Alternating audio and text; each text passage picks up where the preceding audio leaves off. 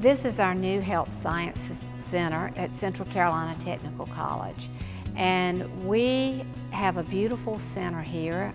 We outgrew our building at the main campus, and this building is around 68,000 or 70,000 square feet. So we gained quite a bit of square footage.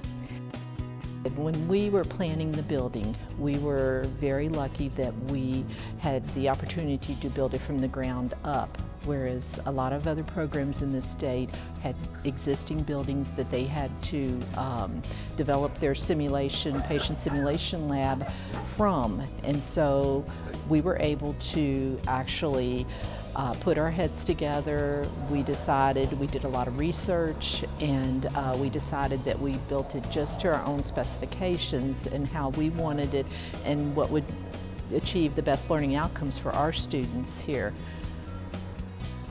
It is right on Main Street, so smack in the middle of town, approximately three miles away from the main college campus.